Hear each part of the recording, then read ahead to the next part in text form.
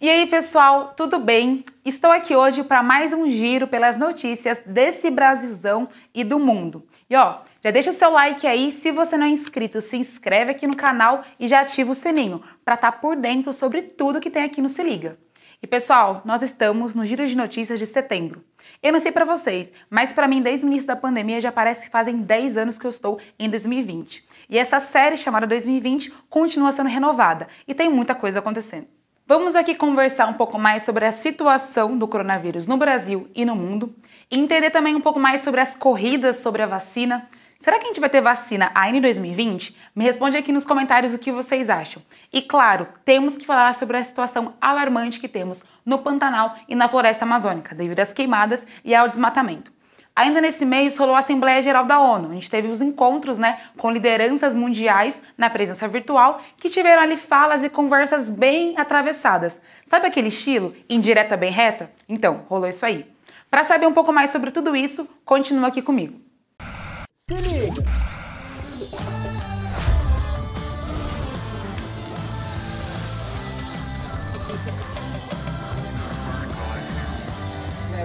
História da situação do coronavírus no mundo, nós já passamos da marca de 33 milhões de casos, lembrando sempre das subnotificações. Quando a gente pensa em relação ao número de mortes, nos aproximamos da marca de 1 milhão de mortes por Covid-19. Considerando os países que têm mais casos acumulados de Covid, os Estados Unidos continuam na dianteira. Agora, ao invés do Brasil, a Índia está no segundo lugar como país com maior número de casos. Nós estamos agora em terceiro lugar. Seguido do Brasil, nós temos a Rússia, a Colômbia, o Peru, o México e a Espanha como países com mais casos acumulados. Em relação ao giro de notícias do mês passado, saiu dessa listagem a África do Sul, entrando a Espanha no seu lugar. Além da gente saber quantos casos absolutos os países têm, né, então qual é o país com mais casos acumulados, é muito importante saber o ritmo de crescimento da Covid, ou seja, saber quais países têm mais casos confirmados por dia. Quando a gente considera essa relação, a Índia vai ter também destaque. É o país que tem mais casos confirmados diariamente. Então nós temos aí em média para o final de setembro 84 mil novos casos sendo confirmados. Quando consideramos aí o segundo país que tem mais desse ritmo rápido aí de crescimento, tem os Estados Unidos, que bate aí cerca de 44 mil novos casos. Depois deles vem quem? Brasilzão, que tem aí 27 mil novos casos confirmados diariamente. Nós temos também, em média, aí, com 10 mil novos casos confirmados por dia, a França, a Espanha e a Argentina. É muito importante falar aqui da Índia e por que, que a Índia está crescendo tanto, né? Porque os casos estão estourando. Ela tinha até então, até uns dois meses atrás, o maior lockdown do mundo, né? O grande país aí populoso, contingente muito grande, que ficou o quê? Isolado, sem poder sair de casa e foi aí considerado o maior lockdown até então feito. A partir do momento que o lockdown foi feito e também as dificuldades econômicas foram colocadas e posteriormente a sua reabertura, o que a gente está acompanhando agora? O crescimento do número de casos e número de mortes. Para vocês terem uma ideia, quando a gente tinha o isolamento sendo colocado, o número de mortes que tinha por dia na Índia era na casa das 700 mortes. Agora, a média das mortes para o final de setembro eram de 1.300. O Brasil e os Estados Unidos não crescem nesse mesmo ritmo de mortes e de casos diários como a Índia, mas nós estabilizamos em uma reta muito alta. Então, no começo da pandemia, a gente ficava chocado com o número de mortes, com os casos na Itália e na Europa, e hoje choca o total de zero pessoas quando a gente fala que o Brasil bate aí média de 700 mortes e Estados Unidos 750 nesse mês de setembro. Então, fica aí essa contradição. Olha, gente, a pandemia não acabou, tendo que as pesquisas sobre vacina continuam a todo vapor. Nós temos aí, segundo a OMS, mais de 10 vacinas em fases mais avançadas e temos quatro delas testadas aqui no Brasil. Nesse mês, uma das mais famosas, mais promissoras, que já está na fase 3, aquela fase que vai medir tipo, a eficácia da vacina, sofreu uma pausa, porque teve uma suposta reação adversa e involuntário, o que não se confirmou no final e a vacina continuou a ser testada.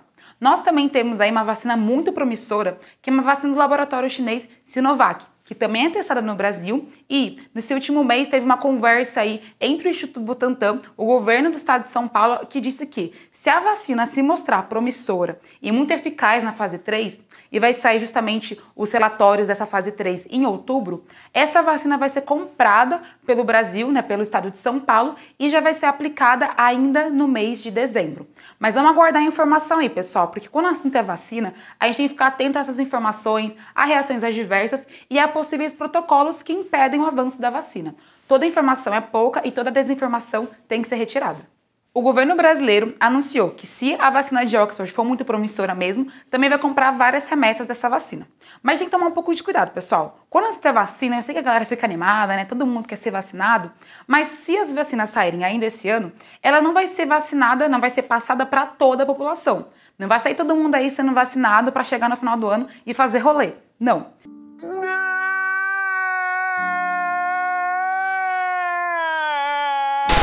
Essas vacinas seriam destinadas a grupos mais vulneráveis, como por exemplo os profissionais da saúde. Um outro ponto que é muito importante: quando o assunto é vacina, a gente não pode esquecer que tem uma produção que envolve insumo, envolve tecnologia, envolve uma série de protocolos e medidas de segurança para conseguir ser aplicada. Então, todo cuidado e calma é pouco quando o assunto é vacina. Outro ponto que a gente não pode esquecer é que a vacina não deixa de ser uma mercadoria que é negociada entre países e também entre empresas. Vamos lembrar, galera, a gente está falando aí de uma situação que tem o mercado farmacêutico em disputa. Os países mais ricos do mundo, por exemplo, já estão comprando cerca de 51% das remessas de vacinas que ainda estão sendo produzidas e testadas.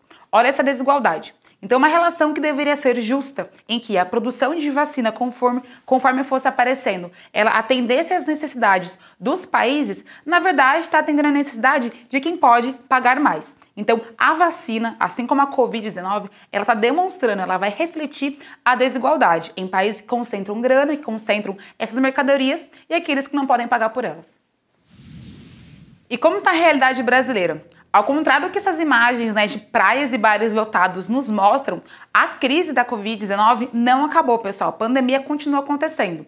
Por mais que, beleza, houve uma desaceleração e nós não temos casos batendo como 70 mil novos casos confirmados por dia, como no mês de julho, nós ainda temos taxas muito altas. Como eu falei para vocês, os nossos casos estão batendo em média aí de 27 mil novos casos para o mês de setembro e mortes batendo em 700 por dia. Em números oficiais, a realidade brasileira é o seguinte: nós já passamos supostamente de 4 milhões e 700 mil casos e mais de 140 mil mortes. Quando consideramos os estados com mais casos de Covid, nós temos São Paulo na dianteira, seguida por Bahia, Minas Gerais, Rio de Janeiro e Ceará. Destaque aí para a região sudeste, que tem três dos quatro estados com maiores casos de Covid no Brasil. Segundo pesquisa da Faculdade de Medicina lá de Ribeirão Preto, devido ao Brasil ter uma alta subnotificação e pouca testagem, os números oficiais estimados de casos de Covid já estão na casa dos 12 milhões. Então percebam, galera, Covid não acabou por aqui não e o buraco é muito mais embaixo. Quando falamos sobre dados e informações, a gente tem que estar muito atento e com a Covid não é diferente. Quando a gente fala do Brasil, nós não temos o governo federal com um mapeamento, com um estudo sobre a transmissão da Covid em todo o território nacional. A gente vai depender então de universidades, de pesquisadores muito empenhados para entender a dinâmica da Covid por estado ou por região. Se eu falar assim, por exemplo, para vocês, nossa, a taxa de contágio da Covid-19 no Brasil diminuiu. Se eu falar isso para vocês, não tem uma relevância para entender qual que é a temporalidade, qual que é a dinâmica por estado. Quando a gente consegue observar aqui no mapa, o Brasil é um país continental, um país gigantesco. Então, falar de um dado para o Brasil todo não vai refletir a sua realidade. Então, tem que sempre observar essas relações também. Saindo aí de um assunto que é preocupante para outro assunto tão alarmante quanto que situação temos no Brasil também? O desmatamento e queimadas das nossas florestas. Quando a gente fala da Covid-19 esse ano, ficou um pouco abafado, talvez, a situação que a gente estava acontecendo desde o ano passado, mas não se engane. Nós estamos passando por uma crise ambiental muito grande. Considerando os últimos anos e principalmente em relação ao ano passado, nós tivemos um desmatamento na Amazônia muito, muito grande. Não é de hoje que as entidades ambientais, que comunidades indígenas, movimentos sociais escancaram diariamente o desmatamento. Mas agora essa situação chegou no nível realmente limite. Tanto que a mídia internacional está caindo em cima do Brasil, porque nós estamos degradando, nós estamos matando a maior floresta contínua tropical do mundo. Nos últimos 35 anos, a vegetação nativa brasileira já foi perdida em 10%. Isso pode parecer pouco, né? Mas não é, galera. Isso vai equivaler em área a 87 milhões de hectares. Desse total todo, metade foi de floresta amazônica. E considerando aí relativamente, proporcionalmente, a vegetação e bioma que mais se perdeu aí foi o cerrado. Quando a gente só considera o desmatamento amazônico, ele teve um auge aí de desmatamento entre os anos de 2003 e 2004. Depois disso, teve massivamente aí o uso de dados de satélite, monitoramento via aí geoprocessamento para conseguir verificar o desmatamento, junto também com muita fiscalização ambiental. Ainda tinha desmatamento, mas teve um grande processo de desaceleração. Entre 2005 e 2014, então, temos dados aí que mostram, que revelam essa menor proporção de desmatamento. Mas depois disso, a partir de 2015, teve um aumento desse desmatamento, até chegar no patamar do ano passado, que em relação a esse ano, aumentou em 34%. Então, reparem, nós temos aí uns processos que mostram que o desmatamento sempre aconteceu, mas o que a gente está acompanhando nos últimos anos é que está aumentando o ritmo desse desmatamento. Quando se faz o cruzamento dessas imagens de satélite que mostram desmatamento com uma fiscalização ali local, o que, que, se revela? Que o desmatamento vai acontecer no limite onde tem a expansão da fronteira agrícola com áreas de proteção integral, com terras indígenas e com áreas que deveriam ser destinadas a uma conservação da natureza, o que só mostra que o desmatamento é ligado à atividade ilegal. Aí você pode estar se perguntando: ah, beleza, mas o que está gerando esse desmatamento? Qual que é o uso que se faz agora dessa floresta que se foi retirada? Basicamente, pessoal, vira pasto. Nós temos ali uma transformação da floresta em sistema agropecuário, como a monocultura da soja, mas basicamente vira o quê? Pasto para boi comer.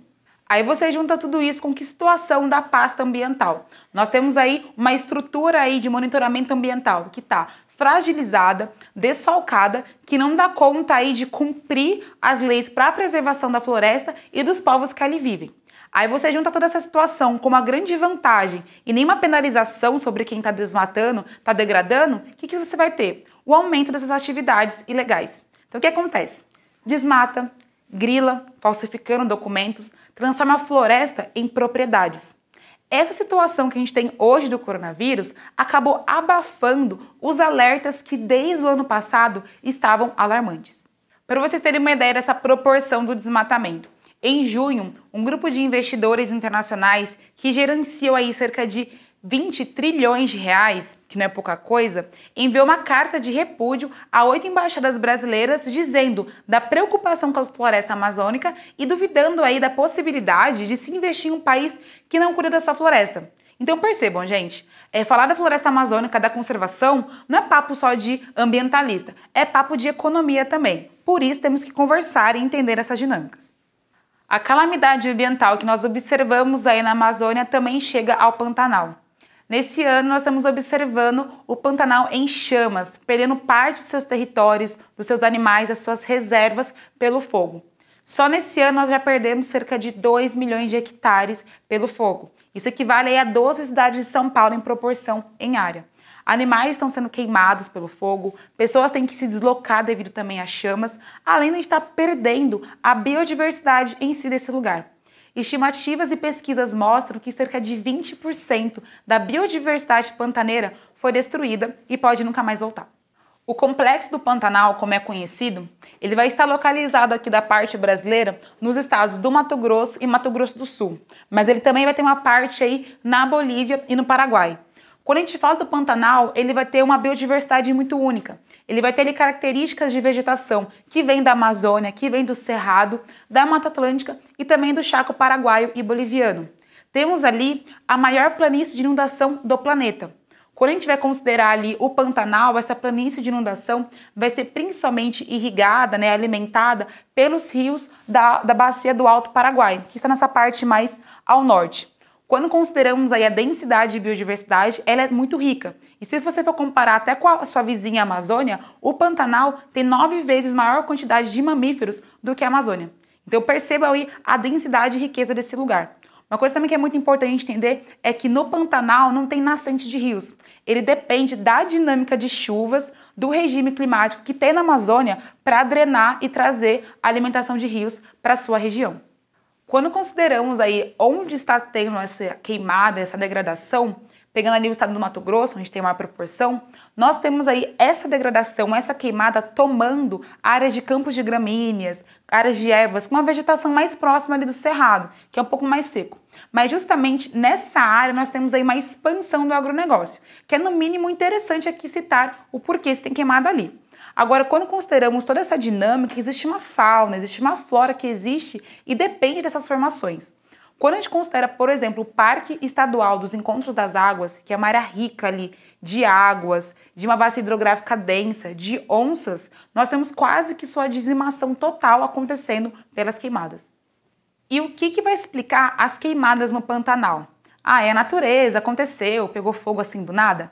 Não, gente. Quando a gente considera aí as queimadas, tem uma dinâmica que ela tem que ser melhor destrinchada. Primeiro, o que, que vai gerar aí essa desastrosa ação do fogo? Para acontecer ali o fogo, o que a gente precisa? Precisa de um tempo muito seco, com baixa umidade do ar, calor intenso e vento. Isso aí vai formar uma combinação que é desastrosa e pega fogo em tudo. Só que quais são as dinâmicas que acontecem no Pantanal? Primeiro, o Pantanal está vivendo uma seca histórica. Nós temos aí, por exemplo, o Rio Paraguai, que é o principal rio que passa ali no Pantanal, que tem os níveis mais baixos aí para o rio nos últimos 50 anos. Então, realmente tem uma condição climática que o tempo está mais seco no Pantanal. Mas quando estamos falando de queimadas, quando estamos falando de incêndios, a maior parte deles tem ação humana envolvida.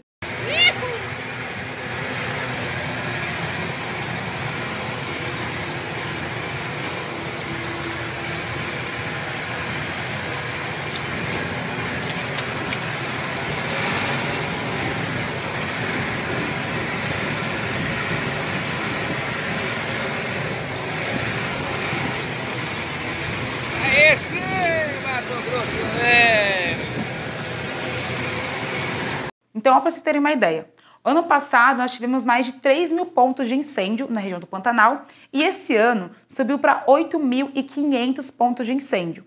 Então, associar somente as dinâmicas climáticas como uma condição para queimada é tirar toda a criminalidade que é envolvida com a ação antrópica. A parte do Pantanal que está pegando fogo é uma parte que está na estação seca. E claro, temos uma relação aí que nós sabemos por pesquisas que mostram que o regime de chuvas do próprio bioma pantaneiro, como da região amazônica, como do cerrado, mudou. Nós temos então uma dinâmica climática que está se alterando. Mas quando falamos de desmatamento e queimadas, temos que associar com a expansão do agronegócio e também com a falta de fiscalização ambiental e de combate massivo ao fogo. É essa condição que acentua e gera essa situação calamitosa. Aí uma coisa tem que ficar aqui bem esperta para a gente. Quando a gente está falando do Pantanal e também do Cerrado, nós não podemos esquecer que são dinâmicas de climas tropicais. Então nós temos uma condição que chamamos de estação seca. O que vai ser estação seca? É aquele período que aqui no Brasil, entre maio a outubro, nós não teremos chuvas, teremos um calor muito intenso, vai diminuir a chuva ou vai parar de chover mesmo. Então nós temos uma condição de baixa umidade do ar o que gera uma série de alertas, né, porque uma baixa umidade do ar gera um processo de alastramento do fogo, se assim tiver, e também uma baixa qualidade do ar para as cidades do Brasil Central. Só que muitas pessoas vão usar esse argumento para falar o seguinte: ah, mas o cerrado, essa vegetação, está acostumada a pegar fogo, está adaptada aí à alta temperatura. Os troncos retorcidos, as cascas grossas servem para isso, então não tem problema pegar fogo. Mas é aí que a gente vai se enganar.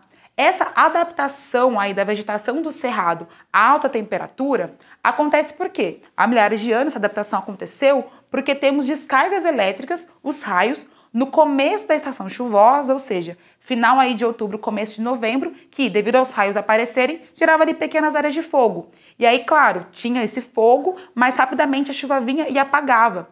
Então, essa adaptabilidade climática dessa vegetação assim aconteceu como uma condição natural do começo da estação chuvosa. Ela não vai ter uma condição que vai permitir o fogo da maneira que acontece na estação seca. Quando a gente pega, por exemplo, a série histórica de 98 a 2017 que o INPE fez sobre monitoramento de queimadas, o que, que se observa? que o maior foco, o maior ponto de queimada que nós temos no Cerrado e no Pantanal se dá durante a estação seca, de maio aí a começo de outubro, o que não corresponde a uma condição natural. Esses pontos de queimada acontecem por ação antrópica e não deixam, por exemplo, né, esse fogo que vai se alastrando, não deixa essa natureza, não deixa essa vegetação se recuperar. Então, não podemos confundir essa adaptabilidade da vegetação ao clima e condição natural do cerrado do Brasil Central como uma consequência, como uma justificativa pela ação criminosa de queimadas. Até agora, o fogo continua no Pantanal. Nós não temos aí como calcular exatamente o tamanho do estrago, mas pesquisas já mostram que para reiniciar uma recuperação se precisaria ao menos de 50 anos. Então imaginem quais as consequências de uma estação seca aliada com incêndios criminosos e intencionais. Agora a gente vai estar entrando então na estação seca da floresta amazônica, porque sim, gente, a floresta amazônica ela não é úmida o tempo todo, tem partes dela que você vai ter uma menor quantidade de água, de umidade. Então tem essa preocupação e esse alerta. Os incêndios estão aumentando, mas o combate efetivo ao fogo e essa atividade ilegal não. Então, quais serão as consequências para as nossas florestas e nossas matas dessas atividades? O que vocês acham que será a consequência? Quais serão as consequências para um país que não está enfrentando e não está combatendo diretamente o desmatamento? O desmatamento e essa lógica da degradação, ela vai acabar com a lógica de um crescimento, um desenvolvimento do país efetivo. Porque primeiro a gente não pode esquecer que a floresta, ela vai servir como um grande processo de serviços ecossistêmicos para nós. Então, a preservação da floresta não é só um discurso ambientalista, é um discurso desenvolvimentista, econômico e também cultural, porque a gente não pode esquecer, a preservação da floresta é também a preservação dos povos que nela vivem. Quando a gente pensa, por exemplo, do ponto de vista climático, a floresta amazônica ela vai servir como um, uma potência para o nosso regime de chuva. Então, toda essa lógica aí de alimentação né, de rios, de uma maior umidade que vem para o centro-oeste, que vem para o sudeste, ela vem, na verdade, da Amazônia. Quando a gente pensa, por exemplo, na agricultura, né, essa expansão agrícola da agropecuária que temos aqui, essencialmente a nossa agricultura ela depende do regime de chuvas. Então, se a gente está desmatando, e, consequentemente, diminuindo o regime de chuvas, vai ter uma consequência direta para a agricultura. E outra coisa que não podemos esquecer, setor de energia. Qual que é a nossa matriz energética predominante? É o uso das usinas hidrelétricas. Se a gente está acabando com a floresta e com o regime de chuvas, vai ter consequência nesse setor também. Então percebam, o desmatamento ele vai mexer, ele vai ter como relações uma série de questões que vão desde a questão energética de transporte, como também para uma questão econômica propriamente dita. Então, a preservação, ela vai ter uma série de discursos e de justificativas de se por que fazer. Não podemos esquecer que nesse momento e que nesse embate se dá então uma violência e se dá um extermínio dos povos que ali vivem, como eu falei. Então, quando você pensa na expansão do desmatamento, eu não estou apenas queimando e tirando as florestas. Eu estou também tendo um processo de extermínio desses povos tradicionais. Estou falando dos povos indígenas, dos caboclos, dos povos rurais. Então não esqueçam que essas relações elas são mais dinâmicas e mais interdisciplinares do que simplesmente manter a floresta de pé porque é importante para preservar. No último dia 22 de setembro, nós tivemos a 75ª Assembleia Geral da ONU.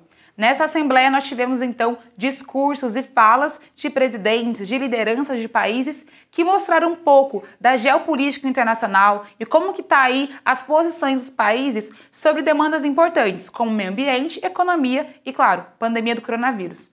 Quando a gente fala da Assembleia da ONU, tradicionalmente o Brasil começa essa reunião colocando a sua abertura, colocando o seu discurso. E não foi diferente. Mesmo nessa presença virtual, o presidente Jair Bolsonaro colocou aí e mostrou ao mundo o que está sendo feito ou não para combater a pandemia do coronavírus e também sobre as demandas ambientais. O presidente, no seu discurso, afirmou que as queimadas na floresta amazônica são feitas por indígenas e por caboclos e em nenhum momento falou da possibilidade desses processos estarem acontecendo por fazendeiros ou sendo atividades ilegais. Ele também afirmou que a floresta é sempre úmida e, portanto, não queima. Mas não podemos esquecer, a floresta tem uma diversidade e estratificação ao longo do ano, e ela pode sim queimar, como está acontecendo. Ele também afirmou que a floresta ela só tem um desmatamento nas bordas, o que não se confirma ao observar esse mapa, em que a gente consegue ver que os pontos em amarelo são justamente pontos de desmatamento que não está acontecendo só na borda, como o presidente afirmou. Ele também colocou que o Brasil tem uma melhor e maior política ambiental no mundo, o que também não se confirma, visto que no último ano nós tivemos a maior perda florestal do mundo em 2019 e temos também uma série histórica de queimada que avança muito nesse ano.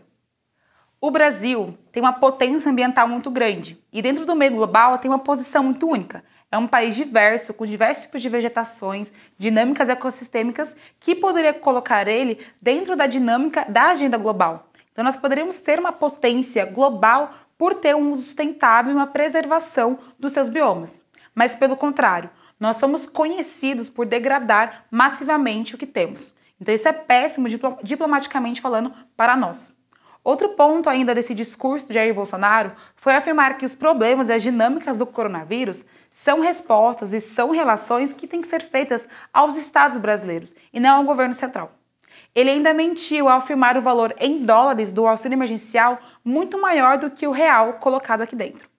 Outro ponto também foi afirmar que a, o problema né, do coronavírus, desse terror sobre o coronavírus, foi culpa da imprensa, que sempre trouxe dados muito alarmantes sobre a realidade que estávamos vivendo.